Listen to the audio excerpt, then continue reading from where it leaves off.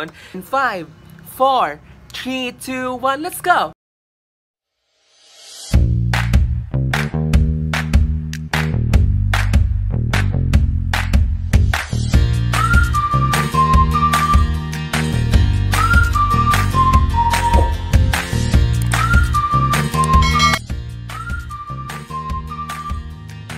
Hello mga tao! Welcome back!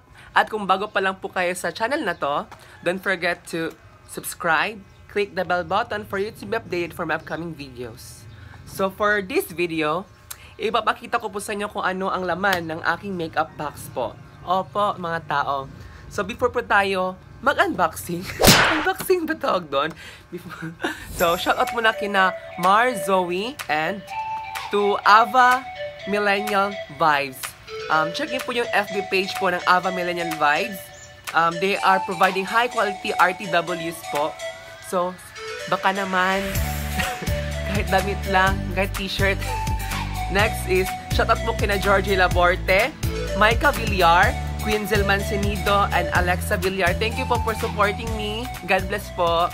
So, ayan na. And 5, 4, 3, 2, 1, let's go! Level up! Level up! Level up! So, ayan, bubuksan na po natin yung mahiwagang black box. Akala po natin, ABS-CBN lang po yung may, mahiwagang black box. Ako din po. Mahiwagang black box. So, ayan na. Ito na po siya. Yes po. Um, I bought this makeup box sa ano po, sa Davao City po, sa Oyango rin po, sa DCLA. Um, it cost 8,000 to 9,000, parang ganon. Pero, na ano ko to siya eh, natawaran ko to sa sa Chinese, 8,000 lang yung bigay niya sa akin. So, let's start. Yung una muna nating titignan is yung kung anong nasa gilid nito. Kasi may lagayan po dito sa gilid nito. Ayan po. Tingnan niyo po. Ayan. Ito po yung gilid. Tsaka, ito rin po yung, parang may divider po to na parang nag-elevate. So, let's start. So, dito muna tayo sa left side. Left side. Pag nakaharap ka dito, left side to. So, ito po is yung health Velera ko po. Yung nilalagay po dito para di sumagi sa mukha yung mga buhok natin. At saka, itong rulers po, hair rulers po. Pag gusto niyo po mag-volume, volume, volume? gusto niyo po mag-volume ng mga buhok, ng buhok ng client po, lagay niyo po yung yung rulers po. So, next is yung mga sponge natin. Dito rin po nakalagay yung mga sponge ko po. Sponge. Tsaka, yung blending sponge ko po. Ito, sponge. Sponge din naman to eh. Kaya, sama silang lahat. Ayan. Tapos, dito naman tayo sa may harapan. So, first, dito ko nilalagay yung wire. Wire ng ano, na makeup box para umilaw to. So, try natin yung try natin pailawan. And 5, 4, 3, 2, 1. Ayan po, umilaw na po siya. Pero pero yung dalawa, di po nailaw na to kasi nasira. Tapos naman, ito, yung skin mat mattifying mist. Ito po, from Look, oh, Lux Organic. So, next is yung, ito po, Lens Flow Plus from EO. EO. Gusto ko pong naging makeup na may lens kasi naiiba talaga yung mukha. I mean, may dating talaga yung ano, yung contact lenses po.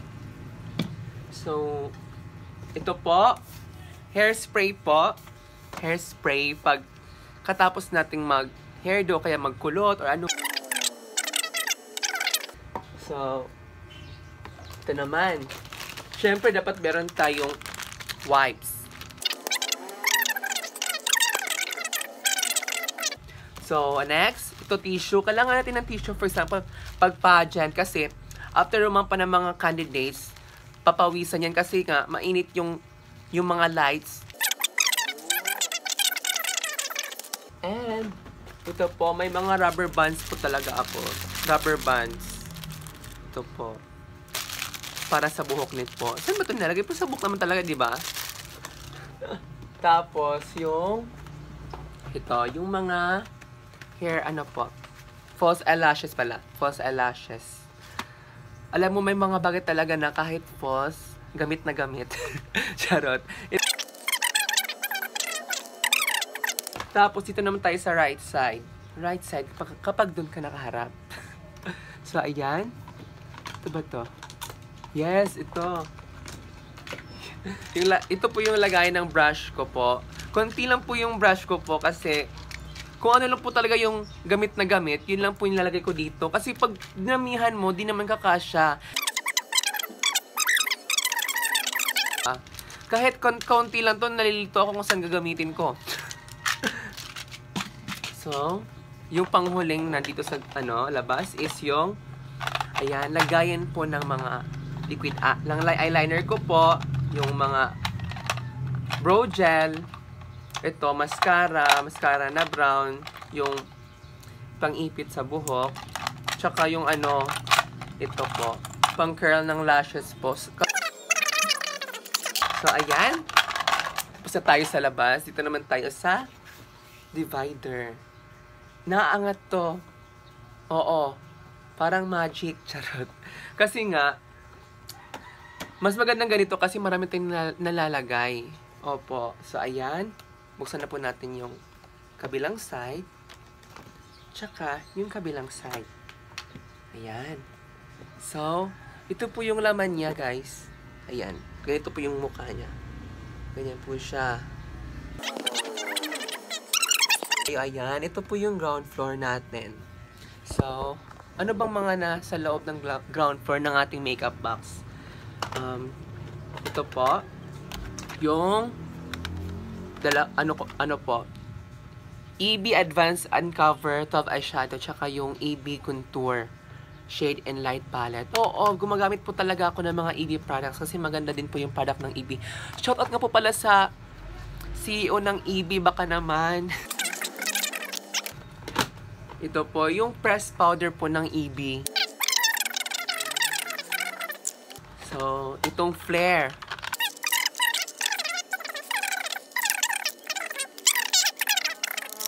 Tapos, ito namang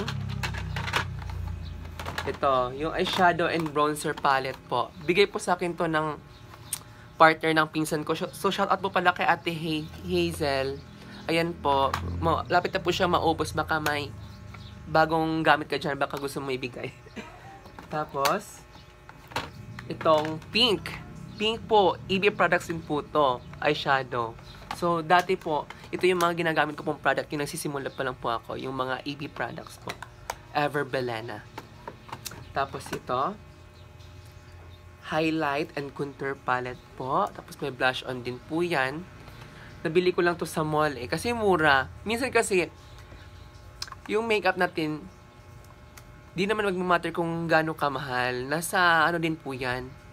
Nasa pagkamay din po yan. Kung maganda talaga yung pangangamay mo. Pangangamay. so, ayan. Ito yung Next is shadow po from Jaclyn Hill. Murang-mura lang po to, hindi po to yung original po, yung nabibili po, yung imported po. Ayan po. Marami pong colors yan. Sa mall din, sa, sa mall din ko po to nabi, nabili. Tapos, next is ito, Morphe. Morphe din po to. Yung eyeshadow palette din po. Ayan, eyeshadow palette. Ay, no. Wait lang. Yan, eyeshadow palette.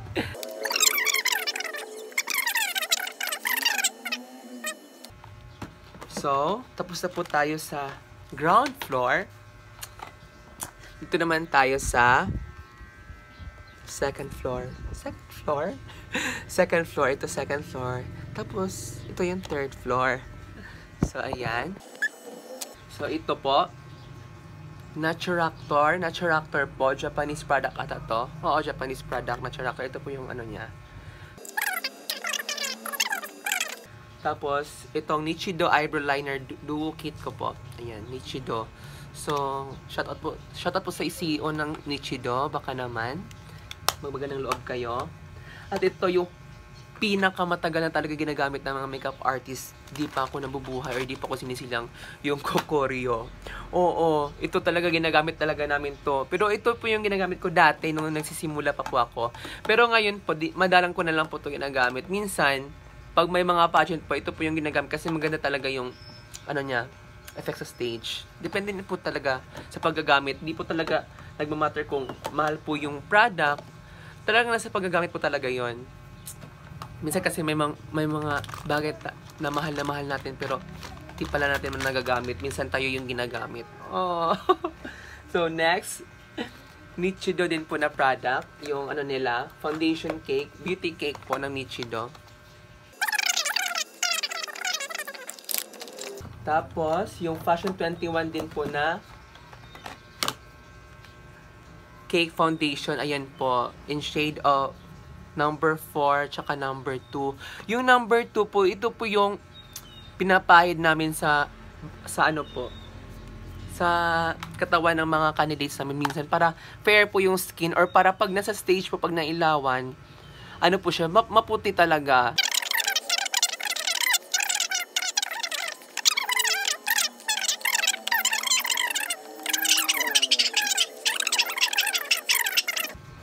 Tapos, dito na tayo sa last floor. So, ito, yung Fashion 21 po natin na loose powder. Ayan. Ginagamit ko po to after ko po mag-foundation. Nilalagay ko po sa under eyes. Dito sa may, ano, jawline. Jawline ba tawag dito? Oo. It- Tapos, yung matte, yung Ashley Matte Compact Powder, ano, ito po, dalawang shade po yan. Highlighter po. Highlighter ba to? Oo nga. Di pa. Tapos, yung ano naman, talaga, uy, EB, nakailang product na ako sa inyo, EB. ito, yung EB, EB Matte Two-Way Cake. Two-Way Cake. Ayan.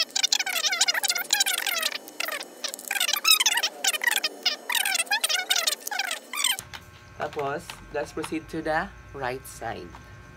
Oh, malapit na tayong matapos. So, ayan. Ito naman sa right side, ito po.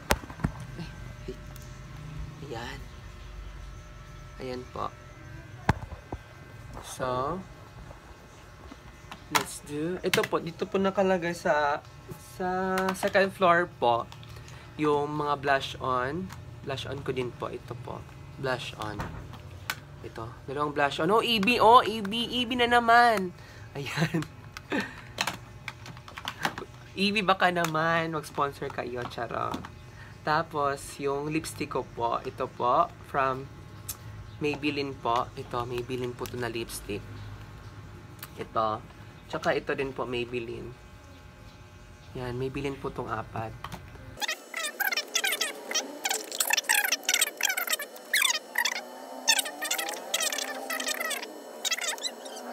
Tapos ito naman is yung glitter gloss from Victoria's Secret. Oo, di po sa akin to. Shoutout nga po pala sa nagmamayari nito, Joshua Cruda. Thank you. Thank you sa pagpapahiram ng ilang ilang buwan. Tapos yung last, Nichido. Nichido din po na ano, Velvet Matte Light Pencil. So, shoutout din po kay Joshua. Sa kanya din po to.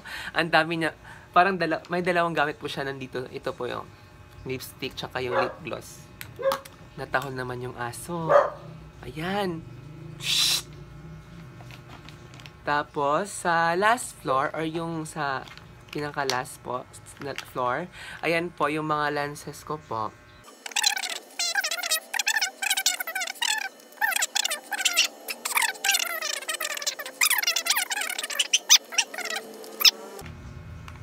Tapos, ito po, yung wala nang, na-erase na po yung tatak niya. Kylie Soso. Kylie Soso. Ito po kasi ginagamit ko po pang nose line talaga ito.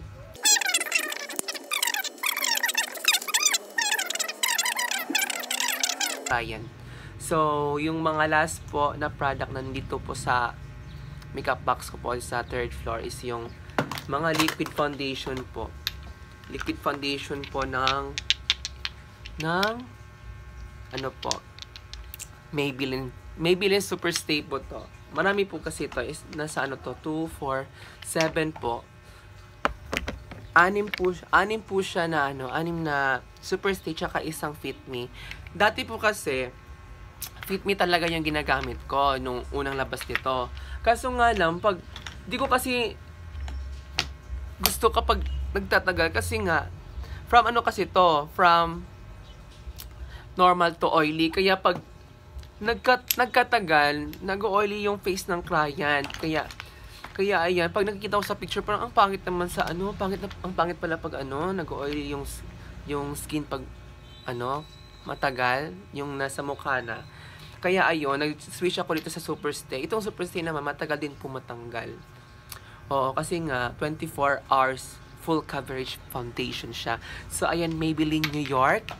Sa mga tauhan po, sa mga CEO, ano mang, ano, ng kumpanya na Maybelline, sana po ay mag-sponsor kayo.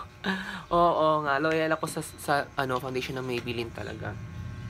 Kaya ayun, meron pala ako nakalimutang isa. Yung Super Stay din po pala na powder. Na powder, powder. na powder po. Ayan po.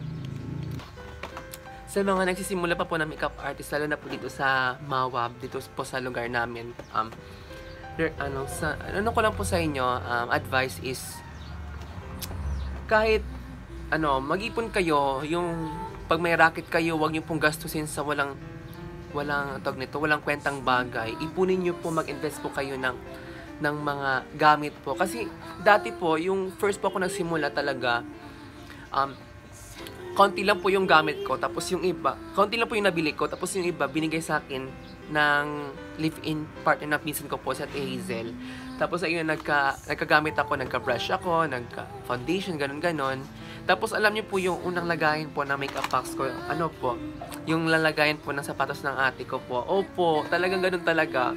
Minsan, doon talaga tayo magsisimula sa pinaka, pinaka, pag nito, pinakababa. Opo talaga. Tapos nung nagkalaunan naman, nung nagka, nag-build na ako ng relationship with my clients, yung parang gusto na nila yung the way ako mag-makeup. Kaya ayun, nakaipon ako ng pera, binili ko ng makeup box may makeup box ako dati, yung ano, mas maliit dito ng konti, tapos may salamin din, tapos may dalawang ilaw. So, ayun po, after a few years, few years, nakapag-ipon ulit si Bakla, tapos ayun, nakabili na ako ng ganito. Tapos hindi lang po to, hindi lang po ito yung na-invest ko pong gamit. Nakapagbili na po ako ng ring light, tsaka telescopic chair, o, di ba? So, for the two years ko pong pagsiservisyo, ayan po may naipundar na po akong mga gamit. So, hindi na po tayo nahihiya sa mga client kahit big clients pa, pa yan or ano. Kasi din po, kailangan po sa ganitong ganitong hanap buhay, dapat maano tayo, perseverance. Kasi nga, di naman sa lahat ng araw, Pasko, di naman sa lahat ng araw may event. Kaya, alam natin may mga peak season talaga yung ano, pagiging makeup artist. Kaya nga lang, kaya yung sinabi ko sa inyo na wag basta-basta mag gumastos ng pera galing sa mga makeup gig nyo po. Kasi minsan, madalang, minsan, madami. Ganun talaga yung buhay ng mga makeup artist. Di di po araw-araw is Pasko po sa amin. So, that's it. Sa mga gusto pong mag-suggest kung ano yung mga videos ko po sa mga susunod ko pong vlog, just comment down below. And sa mga gusto pong mapa-shoutout for my next video, uh, comment down below din po. And that's it for today's video. Thank you po sa mga nanonood and sumusubaybay sa mga vlogs ko and don't forget, forget don't forget to give it a thumbs up if you like this and also don't forget to subscribe and hit the notification bell button for you to be updated. So, thank you mga tao and God bless you. Bye!